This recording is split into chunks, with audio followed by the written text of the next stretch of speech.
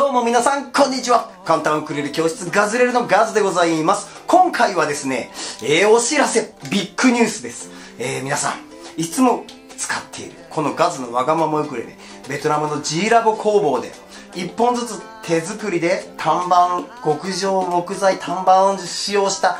本当に最高なこのウクレレですけども、以前クラウドファンディングでご支援皆さんに多大なるご支援をいただき大成功を収めて今、えー、出荷中です。10月中に発送する分の今ちょっとほんとギリギリのところでうーん微妙です。10月に発送できるように向かってますけれども。もしかしたらちょっと遅れちゃうかもしれないんですけどもうご支援くださった方もうちょっとお待ちくださいそのお詫びをしつつも、えー、最新情報。このウクレレ。事前予約販売できるサイトを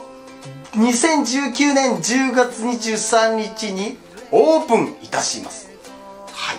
えー、今ね、聞いてもらって分かったと思うんですけど、このやっぱウクレレ手作りなんで、本当に時間かかるんですよね。本当人間の手でこういうところとかも全部こう、あの、手作業でやってるんですよ。ベトナムに行った時にその作業の風景見てたんですけど、本当に時間かかるという手間がかかってんですよね。で、えー、それでもやっぱり、えー、今私のところに来るメッセージとかそのメールとか来るのは、あの、このウクレレどうやったら手に入りますかと、いつあの販売されますかという言葉は大変ね、えー、ありがたく頂戴してまして、え、サイトで事前予約販売ということに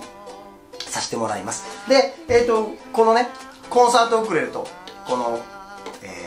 ソプラノウクレレいつも使ってるやつなんですけどこれ今回ですねえっ、ー、と一応デフォルトでピックアップもともとついてます。このピックアップっていうのはここにこうブスッとこう刺してエレキウクレレになるんですけどこれはコンタクト型といってここにねセンサーみたいなのついてるんですけどそのピックアップももじゃくん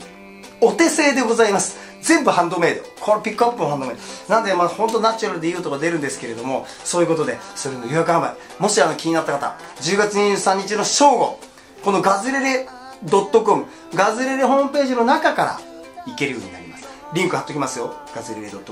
はい。そこでちょっとこう様子を見てください。前回クラウドファンディングで間に合わなかったって方。でガズさんの YouTube 見てる時にこのウクレレってどんなのかな気になった方。ご覧になっていただければと思います。まずはそのご連絡の動画ということで今日はお伝えしておきます。ガズレレ .com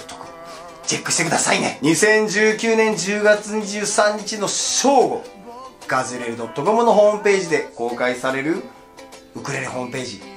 チェックの方よろしくお願いいたします。それでは皆さんよろしく。さようなら。